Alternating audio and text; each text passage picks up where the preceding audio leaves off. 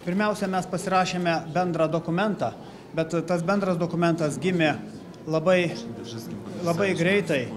Ir, ir mes turbūt galime tik pasidžiaugti tuo, kad ir Lenkija pritarė dėl Nord Stream e, statybos nereikalingumo arba nebūtinumo, kad tai yra politinis projektas, ne ekonominis, kuris gali kenkti ES energetiniai nepriklausomybei. O šiaip mes labai džiaugiamės tokiamis delegacijomis ir, ir ypatingai Lenkijos delegacija atvykusią į Lietuvos nepriklausomybės atkūrimo e, 28-asias metinės.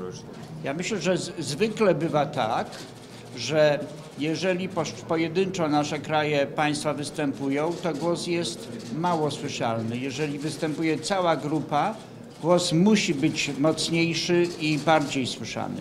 Tym bardziej, że podkreślamy, że tutaj dwie, między innymi dwie ważne kwestie, zasady. Jedna zasada e, e, wspólna troska o bezpieczeństwo państw, wszystkich państw Unii Europejskiej, także i państw będących we wschodniej jej części. A po drugie, zasada solidarności i współpracy. Równi z równymi, wolni z wolnymi to jest przecież fundament Unii Europejskiej. Chcemy ze wszystkimi współpracować, ale chcemy, żeby również szanowano troskę o bezpieczeństwo naszych państw i obywateli naszych państw, państw bałtyckich i polskich. I razem wspólnie wspieramy Ukrainę, e, która przecież w tej chwili toczy ciężkie boje o swoją niepodległość.